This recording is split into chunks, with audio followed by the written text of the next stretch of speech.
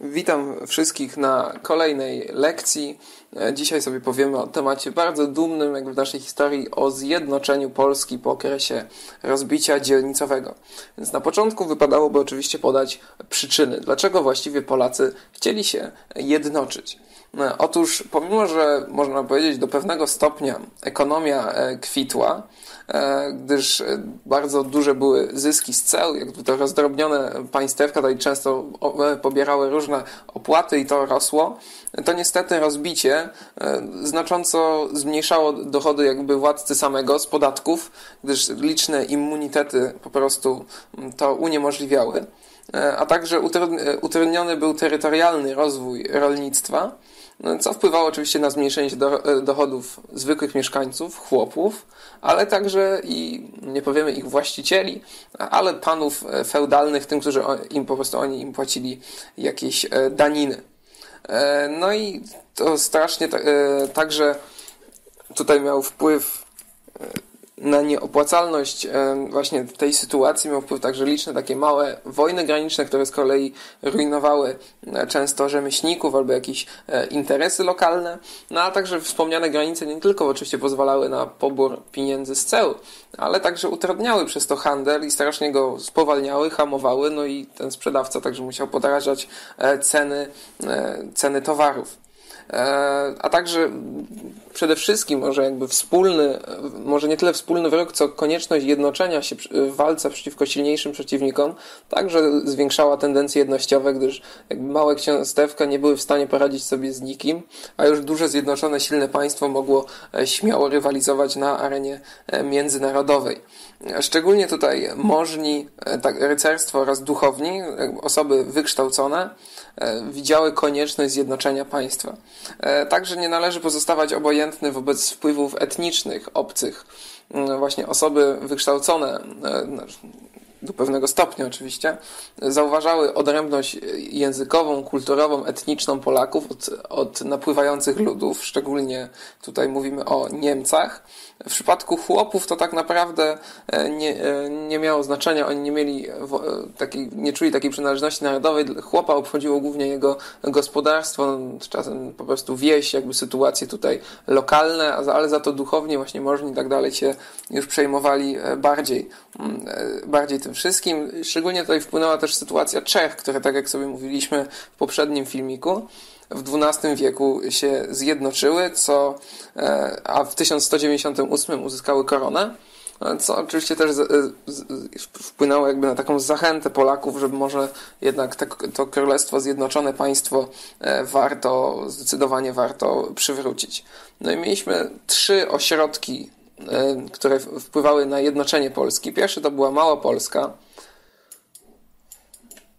Małopolska e, z Krakowem jako, taką, jak, jako takim centrum e, kultury który został uznawany w zasadzie za e, stolicę, a także znajdowały się w nim relikwie biskupa Stanisława.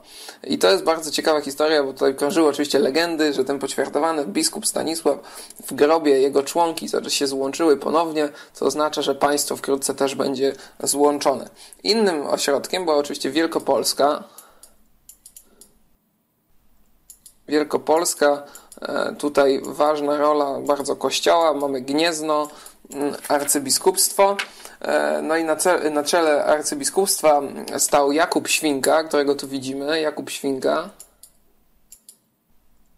Jakub Świnka, który był dużym orędownikiem jakby, e, ten, znaczy był orędownikiem tak, tendencji zjednoczeniowych, chociaż pomimo wcześniej, że Kościół tak naprawdę dążył do osłabienia władzy e, władcy, to teraz jakby opowiadał się za tym, żeby to państwo ponownie zjednoczyć, no bo ze świnki była niezła świnka, bo tak chodziło tu w większości o czerpanie zysków po prostu z majątków kościelnych, które jak były rozsiane po wszystkich ziemiach, było ciężej to robić. Oczywiście tutaj żart był z tą świnką, Jakub był też orędownikiem właśnie zjednoczenia e, państwa. Trzecią dzielnicą był Śląsk, który był tutaj najsilniejszy E, najsilniejszy po prostu gospodarczo e, i ekonomicznie.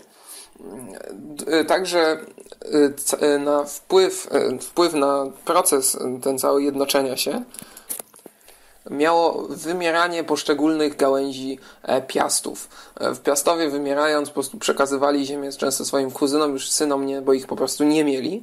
No i to scalało w jakimś stopniu ziemię. Był to proces oczywiście bardzo powolny, dlatego jest to jakby tylko jakby tam mniejszy, można powiedzieć pomniejszy e, czynnik. No i Henryk IV Probus, jeden z Piastów, uzyskał ziemię sandomierską i krakowską, którą później przekazał Przemysłowi II, którego tutaj widzimy na portrecie Matejki e, z poczetu królów polskich, czyli w zasadzie już zdradziłem, e, zdradziłem fabułę dzisiejszego odcinka. Przemysł II, on miał już wcześniej dostał, znaczy miał w posiadaniu Wielkopolskę, dostał w spadku Pomorze Gdańskie, czyli już mu się nazbierało całkiem, całkiem, całkiem duże nawet państwo, znaczy całkiem duży teren. Sam ten wspomniany Henryk IV Probus, e, zwany też prawym Probus, znaczy prawy, e, Henryk IV Probus też dążył oczywiście do zjednoczenia państwa, no ale niestety jego nagła śmierć w 1290 no, zniweczyła te plany. On nawet już e, udał się do papieża, żeby uzyskać jego zgodę właśnie na koronację. No ale rola Przemysła II też nie była wcale taka łatwa, gdyż niestety, ale Przemysł II znaczy nie chciał uzyskać jego zwierzchnictwa, nie chciał uzyskać Śląsk. No, szczególnie tutaj tam do, e, miał e, Wrocław otrzymał e, Henryk III, no i tutaj nie dało się nic wynegocjować, a także panowie małopolscy woleli mieć na swoim tronie Wacława II, o którym trochę więcej za chwilę. No ale Przemysł II doszedł do takiego konsensusu, że zabrał e, polskie insygnia królewskie e, do Gniezna i tam poparte oczywiście przez wspomnianą Świnkę, przez Jakuba Świnkę. W 1220, 1295 roku sobie zapiszemy obrazkowo, piktogramicznie zostaje koronowany na króla, czyli pierwszy król od rozbicia dzielnicowego, ale kilka miesięcy później zostaje zamordowany przez Brandenburczyków, którym prawdopodobnie nie podobała się ta sytuacja, gdyż psuła e, ich plany przyszłościowe. No i teraz e, o władzę, aha, no e, e, oczywiście został bezpotomnie e, zmarł, znaczy został zamordowany. Później e, o władzę walczy Henryk III Głogowski, który dostał ziemię w testamencie, a także Władysław Łokietek, którego pewnie mm, dużo osób e, kojarzy. No i tą całą walkę, między innymi rywalizację, tutaj mamy Władysław Łokietek.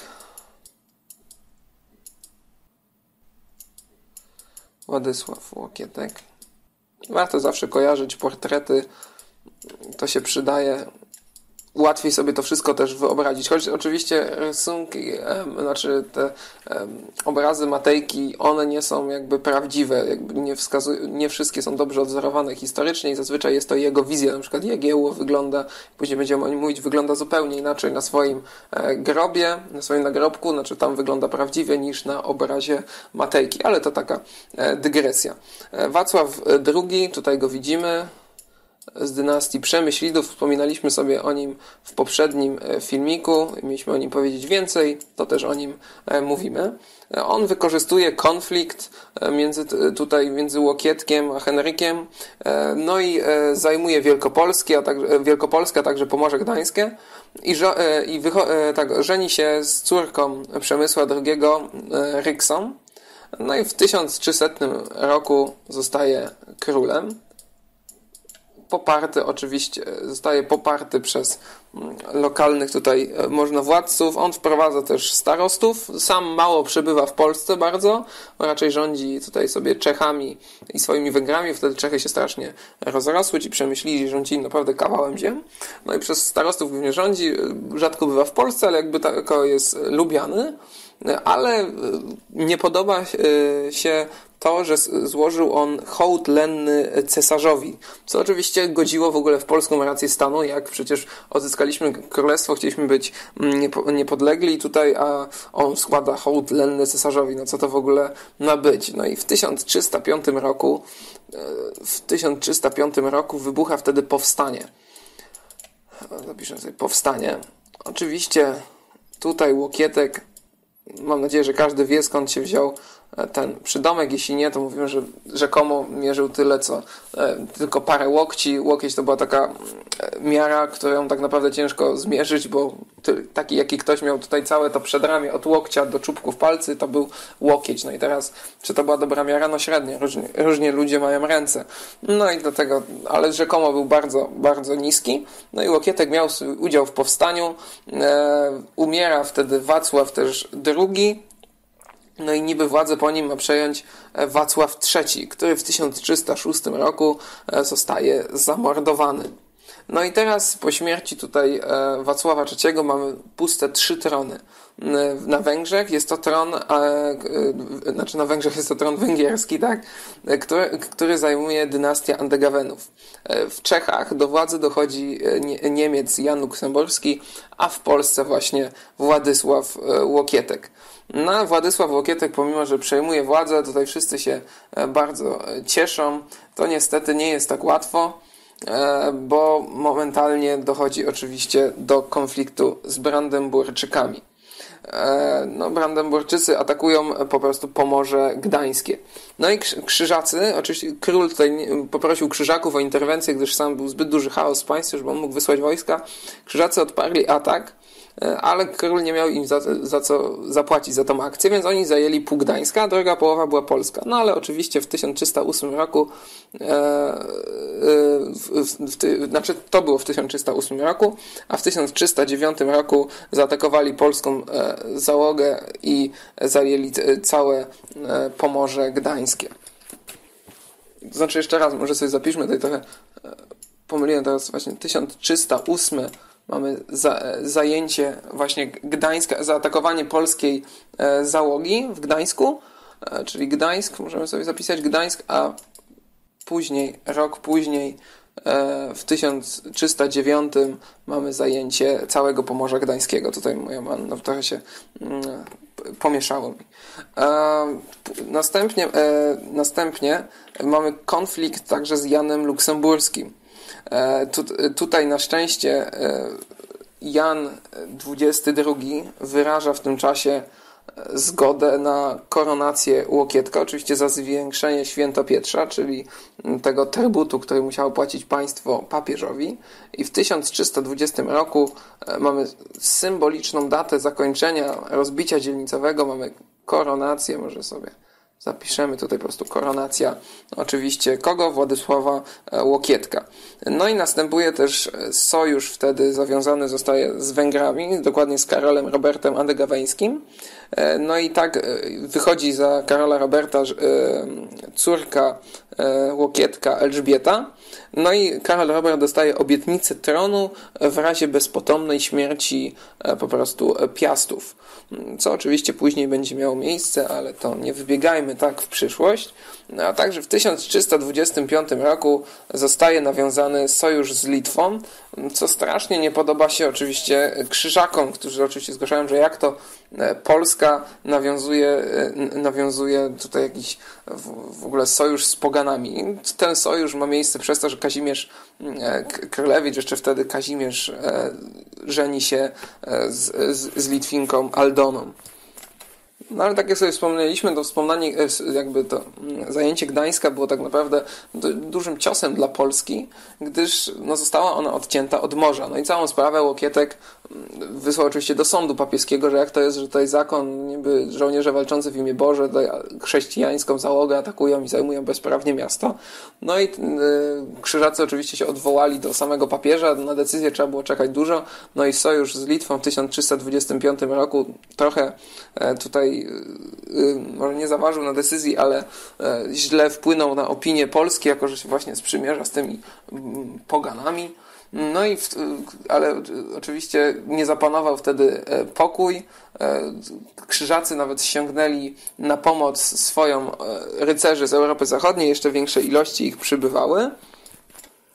No i wybuchła wtedy wojna bardzo ciężka, oczywiście dla Polski świeżo zjednoczonego państwa w latach 1327-32 zakończona tak naprawdę pokojem kaliskim w 1343 roku. E, tutaj ważna była bitwa w 1331 roku. była to bitwa pod Płowcami. Bitwa pod Płowcami. O. Tutaj obrazu już nie ukazywałem, ale można sobie zobaczyć, jest ich parę na ten temat. Zakończyła się ona zwycięstwem Polaków tutaj, ale był to bardziej sukces propagandowy niż e, strategicznie jakiś militarnie e, ważny, ale wiąże się z nią ciekawa legenda. Mianowicie rzekomo szlachcic Florian Szary miał wtedy uratować króla, kiedy był w zagrożeniu przed atakiem właśnie krzyżaków i przyjął na siebie trzy ciosy z kopii E, no i e, później, e, no i po takim czymś człowiek oczywiście powinien umrzeć, ale król później przechadzał się po polu bitwy i znalazł go pod drzewem, jak wkłada sobie te wyrzucone jelita na zewnątrz z powrotem do brzucha, no i przyszli królewscy medycy, rzekomo to zaszyli i Florian Szary przeżył i wtedy właśnie Władysław Łokietek oczywiście nadał mu w dowód wdzięczności większe ziemie, a także herb jelita, który możecie sobie zobaczyć tutaj w internecie, herb jelita, który ma w swoim herbie właśnie trzy kopie krzyżackie, ale to już taka ciekawostka. Cała wojna kończy się dla Polski nieciekawie, gdyż tracimy Kujawy, no a także ziemię dobrzyńską. Ale to oczywiście nie koniec walk z krzyżakami. O, jakby następuje także wkrótce nastąpi dość jakby droga Polski tak naprawdę ku wielkiej potędze, ale to oczywiście w następnych filmikach. W takim razie dziękuję za uwagę i do usłyszenia.